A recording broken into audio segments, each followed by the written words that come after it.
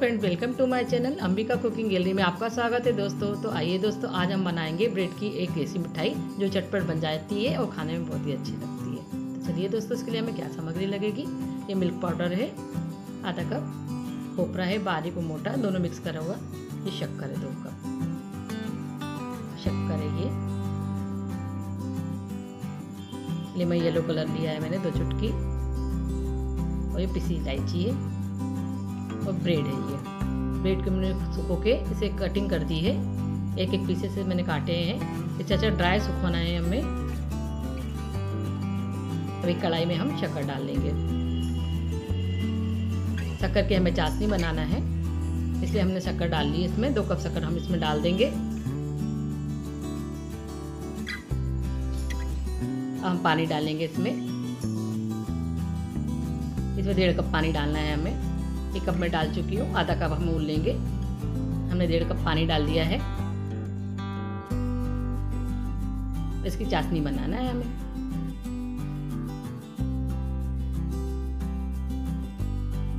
शक्कर को अच्छी तरह हमें मिक्स करना है, ताकि नीचे लगे नहीं, हमारी चाशनी अच्छी बने। अच्छी तरह मिलाते जाएँगे जब तक शक्कर मेल्ट ना हो जाए इसमें। धीमी आँच पे ही हमें बनानी है चाशनी शक्कर घुल रही है हमारी।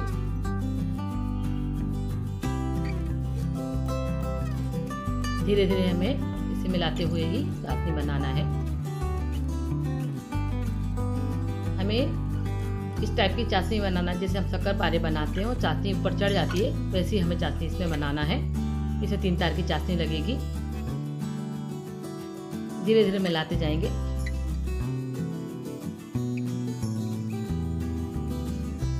देखिए कितने अच्छे बबल्स आ रहे हैं। चाशनी हमारी रेडी होने वाली है।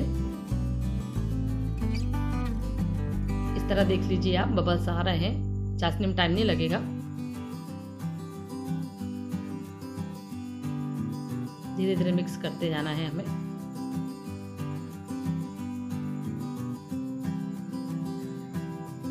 देखते जाइए। इलायची पाउडर डाल दिया हमने इसमें। फ्लेवर आप कोई सा भी ले सकते हैं। कोई भी एसेंस का यूज़ कर सकते हैं आप। तो हम कलर डाल देंगे। इसमें लेमन येलो कलर। कलर पसंद नहीं हो तो आप बिल्कुल ना डालें। कोई दिक्कत नहीं है। वैसे भी बहुत अच्छी बन जाती है मिठाई, लेकिन कलर से सुंदरता ज़्यादा आ जाती है। अच्छी तरह मिलाते जाएँगे। बबल्स ऊपर आ रहे हैं। चाशनी भी हमारी रेडी होने वाली है। इस तरह से आप चाशनी बनाएँगे तो परफेक्ट चाशनी बनेगी आपकी। हम चेक भी करते जाएँगे। अभी एक तार की है ज़्यादा अच्छी नहीं बनी है। हमें तीन तार की चाहिए। इसे थोड़ा टाइम लगेगा इसमें। मध्य पे ही बना रहे हैं हम। इसलिए चाशनी परफेक्ट बनेगी हमारी। देखिए, एक तार आ चुका है। अब हम इसमें डाल देंगे मिल्क पाउडर आधा कप मिल्क पाउडर जो मैंने आपको बताया हुआ था। वो डाल देंगे। पाउडर ना डालें तो कोई दिक्कत नहीं आप में कोको पाउडर डाल सकते हैं। चॉकलेट पाउडर डाल सकते हैं। जो भी फ्लेवर आपको चाहिए, आप डाल सकते हैं। इसे अच्छी तरह मिलाना है लम्स ना पड़े हमारे। धीरे धीरे मिक्स करते जाएँगे, सारे लम्स टूट जाएँगे इसमें। से अब देख लीजिए, चाशनी हमारी रेडी होने वाली है।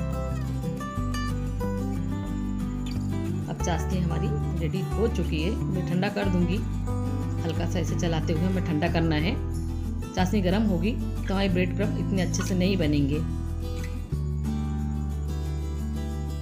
ब्रेड जो है वो सॉफ्ट हो जाएगी।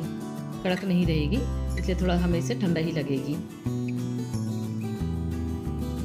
ब्रेड अच्छी ड्राई है और थोड़ी सी चाशनी हमारी ठंडी है। अब हम ब्रेड को इसमें डाल देंगे। आप टोस्ट का यूज़ भी कर सकते हैं इसमें। उसे सुखाने की ज़रूरत नहीं होती है। वैसे भी बहुत अच्छे कुरकुरे होते हैं वो। इस तरह से आप पलटते जाइए। अच्छी तरह से डिप हो जाएगी। तो ब्रेड पे अच्छे से ये लिपट जाएगी। अच्छी तरह मिक्स करना है, ताकि अच्छी तरह सॉफ्ट इसमें हो जाए। और चाशनी ऊपर आ जाए इस पर देख लीजिए, इस तरह हमारी चाशनी इसके ऊपर लग चुकी है।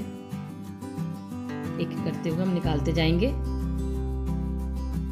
इसी तरह सारे ब्रेड आपको तैयार करने हैं। हम निकाल के प्लेट में इसे डेकोरेट करेंगे। कोपरे के साथ हम इसे मिक्स करेंगे, ताकि कोपरा जो है इसके ऊपर लग जाए। एक प्लेट में कोपरा रख लिया मैंने, बारीक भी है, उसमें मोटा भी है। हम इसे धीरे धीरे करते हुए इसके ऊपर डालते जाएँगे। अच्छी तरह लपेटना है इसे। अच्छी तरह लपेटते जाएँगे और एक एक करते हुए हम प्लेट में निकालते जाएँगे इसे। इस तरह हमें सारे ब्रेड रोल तैयार करने हैं। ब्रेड के सारे पीसेस इसमें एक एक करते हुए ही चिपकाना है।